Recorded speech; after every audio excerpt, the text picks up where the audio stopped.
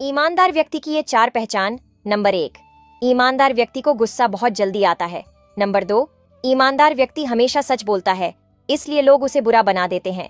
Number तीन, ईमानदार व्यक्ति के दोस्त बहुत कम होते हैं।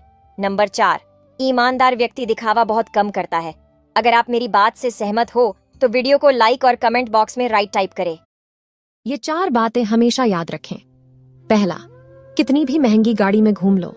अंतिम यात्रा तो बाँस से बनी अर्थी पर ही करना पड़ेगा। यही जीवन का सत्य है।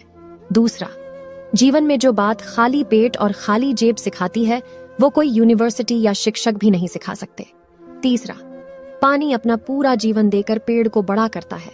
इसीलिए शायद पानी लकड़ी को डूबने नहीं देता। चौथा, जीवन में पैसे के साथ व्यवहार भी कमाइए, क्योंकि शमशान में चार करोड़ नहीं, चार लोग ही छोड़ने जाएँगे। बात अच्छी लगे तो लाइक ज़रूर करें। मैंने कभी भी किसी मर्द को औरत से महँगे कपड़े पहनते हुए नहीं देखा। हालाँकि मर्द कमा रहा होता है, लेकिन वह यह सोचता है कि उसकी बीबी अच्छे कपड़े पहने, उसके बच्चे अच्छे कपड़े पहने। फिर भी कुछ औरतें अपने पति को ताना मारती हैं कि तुमने मेरे लिए किया ही क्या है, तुम मेरे लिए करते ही क्या हो। तो मैं ऐसी औरतों से एक बात कहना चाहती हूँ कि दो मिनट किसी विधवा औरत के पास समय बिताकर देखिए। आपको पता लग जाएगा कि वह कैसा महसूस करती है अपने पति के बिना। इसलिए आप अपने पति का इज़्ज़त कीजिए और उसे भी उतना प्यार दीजिए, जितना वो आपसे करता है। एक लड़की ने अपने सास ससुर को अपने पति और घर से अलग करके अपनी माँ को फ़ोन किया और कहा कि माँ, एक खुशखबरी है।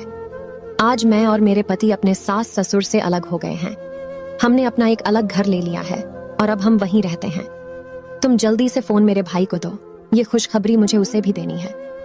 तब उस बेटी की माँ की आँखों में आँसू आ गए।